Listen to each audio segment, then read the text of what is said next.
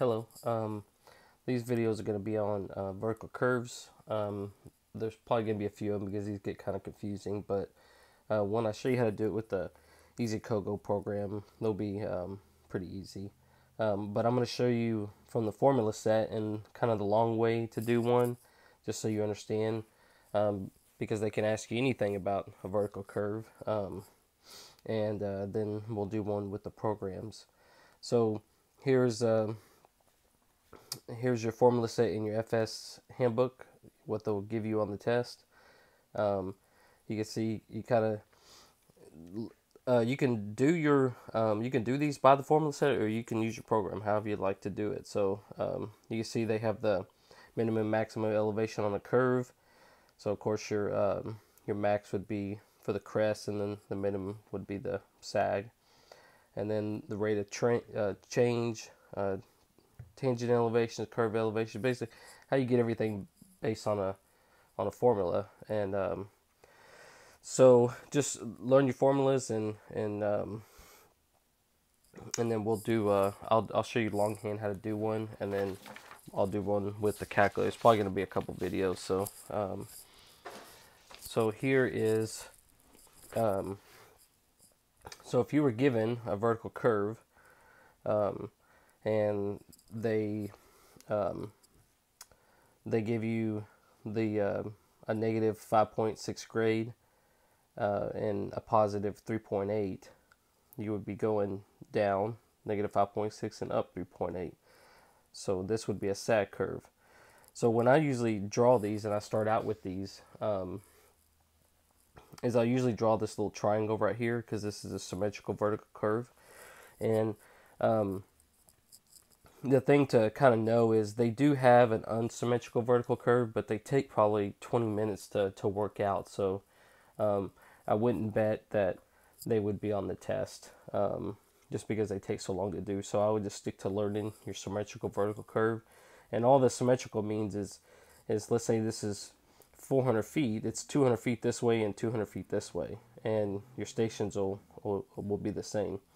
It'll, they'll be even uh, 200 feet across and 200 feet, or however big the vertical curves are. And we'll go through a couple different ones so you can see the different ones. So, um, so this one they're asking this. This is gonna they're gonna stake every 50 feet here, and so they give you um, another good thing is to learn your PVC, the PVIs, and uh, the end of the vertical curves. They have a couple different names for them, and they're um, some of that reference is on your is on your uh, on your handbook here too. So um, just make sure you know the different names because they could ask you um, they could ask you different names about them. So I kind of wrote down what the the two would be um, that they kind of like to use. Um, so all that. So when I say it's symmetrical, like I said, it's 200 feet this way. So right here the the worksheet is to to find the elevation of point A and B. So I would draw this triangle here and then I would draw here's my curve that they want us to stake in the in the field. So it's a vertical curve. So just imagine if you're you know driving downhill and back uphill that's that's kind of what the vertical curve is. But this is just how we're going to calculate it here.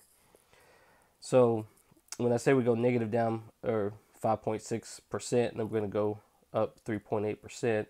But we need to uh, uh, calculate the elevations first from kind of what we have. So we had the only one we were given in this problem was uh, was this station here, 9.5, uh, 0, 9.50, and then the elevation of um, 519.34.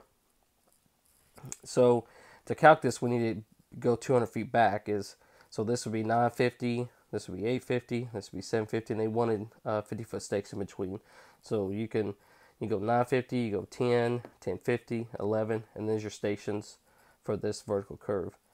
Um, so to start with these elevations is um, these are it's basically a simple rise and run. Um, the vertical curves are to me are easier than um, the horizontal curves, um, just because it's a rise and run. So every hundred feet, you know, if you start at the bottom here, every 100 feet is going to go up 5.6 feet.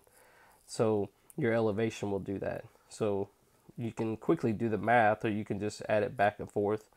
um, however you want to do it. Same thing on this side. Every 100 feet, so just divide 3.8 by 2, and that's how much your elevation is going to go up to 50 foot. So, um, so from 519.34, it's going to go up 523 until you get to, to each station here. Now you have these full stations um, here, and all when it's symmetrical, all you're going to do is take these two elevations, 530.54 and 525.94, and divide them by 2 to get the mean here. And um, this is going to be your, um, or add them together and divide them by 2. And this is going to be 528.74. And then you're going to do the same thing here. You can go 528.74, um, add these together, 519.34, divide them by 2. It's going to give you this elevation, 524.04. You're going to do that on every symmetrical vertical curve, you know, whatever, to get your elevations here. Um, and you can see how we did the stations. So now you got your stations and you got your elevations.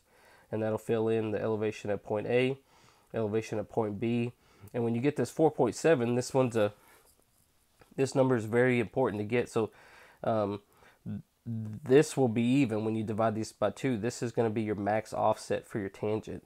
Um, so when you're doing your tangents, it's going to help us calculate the rest of each tangent off of that. So um, these will be even just just because we you'll know your distance too, um, how you do it, your elevation too. So um, and so um, so when you do your your uh, your uh, if you were doing this by math, you're going to take uh, each you're you're breaking it down in uh, fractions, right? So you can go 1 over 4 and you're going to square it and then uh, multiply it by your tangent offset and that'll equal 0 0.29 and then the same thing uh, for each one. And so this one's since it's symmetrical this one will be 0 0.29 0 0.29 and of course the next one you go 2 4 um, square and then multiply 4.7 this will give you 1.8 1.8 2.64 and so you can see it's it's and th these tangent offsets are going to be the the so it, these tangent are going to be is going to help you calculate the distance from your um, station elevation to your curve elevation. So if you see after you calculate each elevation here, you're going to add 527.74 or sorry 527.74 plus 0.29 and that's going to give you um, that's going to give you the elevation um, 520 sorry that's on the 524 no that's right 528.03 so um, 527.74 plus 0.29 528.03 um, and so you're going to do that on each one. I'm going to show you how to do this kind of with the calculator too. Um, i'm just kind of going through this pretty quick. I just want to show you the kind of the long way so you understand um, uh, make sure that you understand how to get each elevation point the midpoint. So when you do the midpoint here, this curve, whether it's a, a, a crest or it's going to be a sag, it's always going to hit the middle of this distance right here on a symmetrical vertical curve.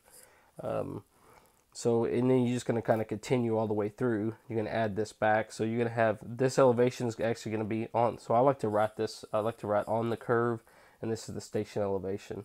So this is your station elevations, and this is uh, on the curve. And so when I do some of the other problems, I'm going to use those uh, terms. And they call it grade elevation, curve elevation. That's kind of, um, make sure you know all the terms because they could use anything in, in, in these problems. So um, I like to say on the curve because this is the elevation on the curve. And all you're doing is taking, after you calculate the station, again, you add, add your tangent offsets here, here. it's going to give you the elevation because this is a, again, this is a sag, so to get to the dirt, it's you're going to go up. If it was a crest, you would subtract them to get down. And we'll do some of those uh, problems. I just kind of want to go through that pretty quick with you. Thanks.